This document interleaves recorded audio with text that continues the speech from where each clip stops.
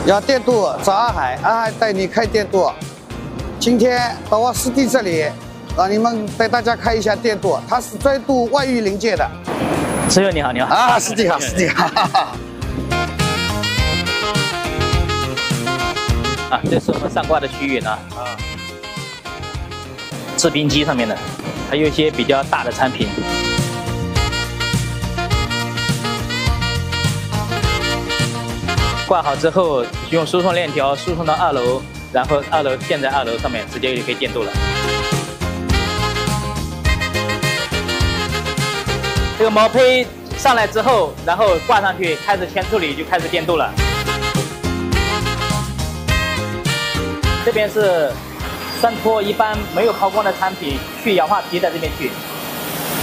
没有抛光的啊，那边去氧化皮。对，抛光的话没有氧化皮，就直接这边就开就可以开始出蜡。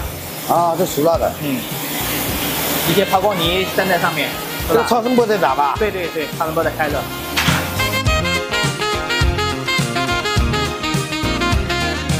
一些内腔里面一些铜屑，还有一些一些就是换沙件里面残留的一些沙子，把它洗出来。对，有有的比较脏的，人工把它倒一下，倒出来。啊，超声波线比较杂了，是前处理的前处理占一半。啊，在一半。这边是主要做不锈钢的。哦。是半光镍，半光镍对烟雾要求比较好一些。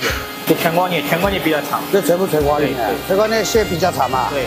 根据客户的要求。对对对对。当然是价格也不一样。你这个没有桶嘛？全部都镍嘛也是。对，镍镍镉。也是镍镍镉嘛。对对对，镍镍镉。还有一个镍封，镍封主要是。起到一个呃保护作用，这边镀铬，这边是套铬。哎，对，我们套铬八个 B，八个 B。哎啊，那裂成哎铬层还是？一般零点三左右。零点三。超声波再再清洗一遍。超声波打一下。对对。然后两道纯水。这纯水。啊，再纯水。然后就干净了，没水印了。对，纯水过之后，然后就就下挂。对对对对。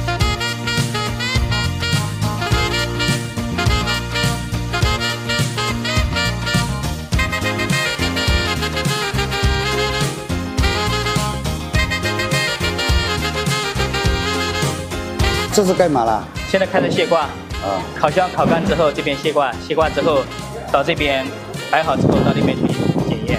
啊，这边放好以后，那边去检验。对对对对。一个一个分开啊，不能碰烧。对，是的。这边是检验。这边检验。啊，那边上挂那边过来。下挂以下挂。嗯，下挂之后推到这边检验。啊。这边开始包装，啊，包装好之后就可以出货了。嗯嗯。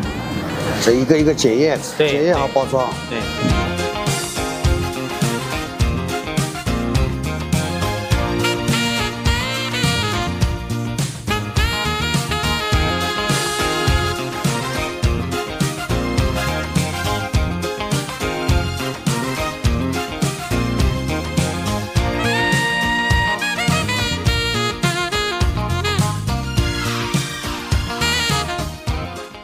张总从事电镀多少年了？有一些年头了，二十多年了。现在这个厂房多少面积了？有？嗯，上下差不多一千个平吧。总投了多少钱了？嗯，八九百万了已经。八九百万了。是是。加工哪些部分产品呢？嗯，我们主要是生产一些水龙头、一些汽车配件啊，呃，一些五金件。五金件。主要以水龙头为主。有哪些镀种呢？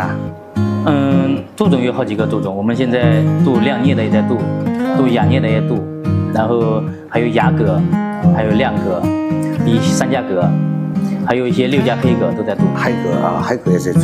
对，目前呢生产的产品都是比较高端的，你像一些托托啊、科勒啊那些代工产品，我这边都有，都有在做。一些日本方面的那些产品，我们都有在做。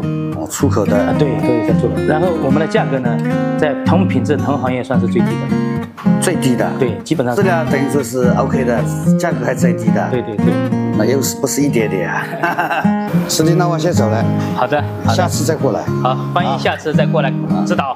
我怎么知道？好好好，好，再见再见，好。